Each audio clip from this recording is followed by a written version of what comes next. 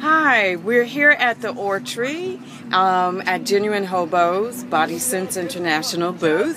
And can you state your names, ladies? Oh, I'm Carolyn. Carolyn, Linda. Linda, And I'm Michael. Michael. And we have, uh, my name is Ayana, just for everyone knows, and this is Lamika right here. And we're here with a live testimony of Genuine Hobo products. Let us know.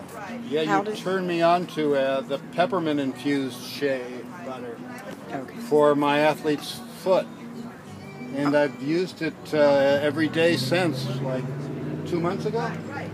And it's totally healed the cracks in my toes and kept it from revisiting me.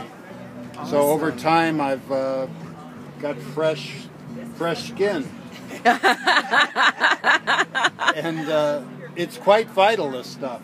Awesome. I don't know what will happen if I quit using it, but it's so easy to use that there's no reason to quit using it. Awesome. Thank you so much for your testimony here.